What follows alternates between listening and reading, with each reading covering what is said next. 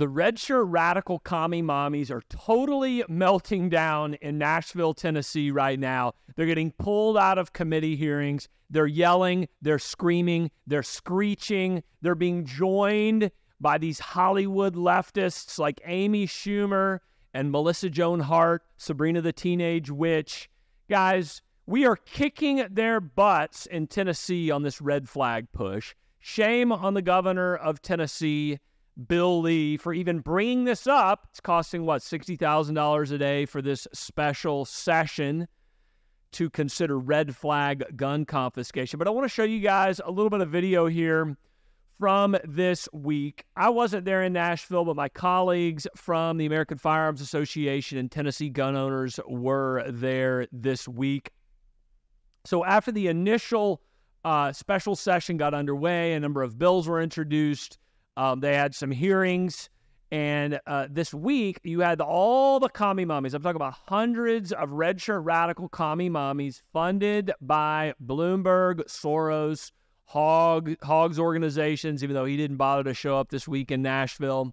Um, they were in these committee hearings holding up signs. Look, we all are passionate at these hearings. If you're pro gun or anti gun, right? If you're these commie mommies or if you're patriots like ourselves, there are rules in these committee hearings, okay? And they set the rules out pretty clearly. And what these commie mommies, they always do, and I've been in dozens of legislative hearings so have my colleagues. I've been in state capitals all across the country. There are rules. If you break those rules first, second, third, fourth, fifth times, ultimately they're going to have you removed. And these commie mommies were removed by the state troopers um, because they were causing disturbances. And of course, Amy Schumer weighs in from California or New York or wherever she is. Melissa Joan Hart, Sabrina the Teenage Witch, was actually there in person in Nashville. Sarah Silverman, all these crazy left wing anti gunners weigh in on Twitter. Oh, the outrage. They got pulled out of the hearing.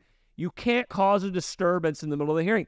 If you want to testify, sign up to testify. And ultimately, some of them were actually let back in to testify. But at the end of the day, these commie mommies want to destroy our Second Amendment rights, period. That is what they're out to do. Every time there is a shooting, as tragic as they are, and by the way, we still haven't seen the man, the training manifesto out of Nashville. We still don't know why she did it. We still don't know why she went and killed a bunch of students and teachers there at the Covenant Christian School in Nashville.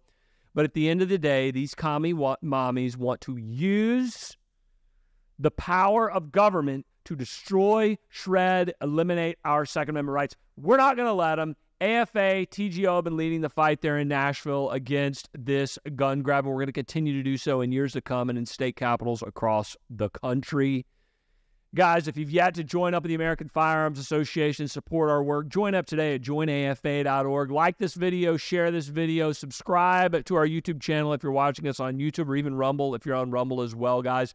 I'm Patrick Parsons with the American Firearms Association. We're fighting for your Second Amendment rights in state capitals, courtrooms, and in Washington, D.C., nationwide, every single day, guys.